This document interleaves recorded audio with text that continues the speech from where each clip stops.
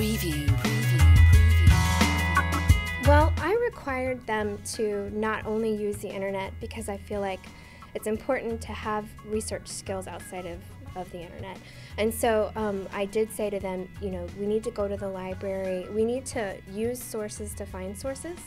Um, and so a lot of times we would read an article and look at the footnotes of that and then use that to delve more deeply and to look up other sources. The, the outside sources of information are absolutely essential because no third grader has the uh, knowledge you know, upstairs to do that.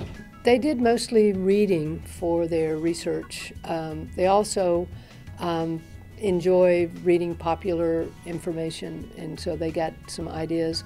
One of the students had been to a science fair in which they had seen water condensing on spider webs, and they thought, oh, that's kind of cool. Um, and so they sort of combined several ideas together.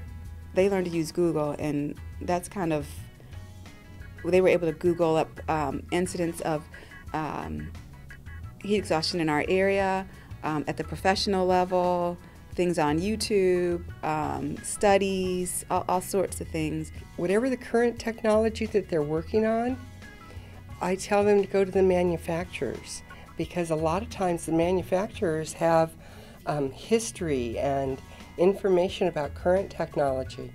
And so I have the kids research the manufacturers of current products.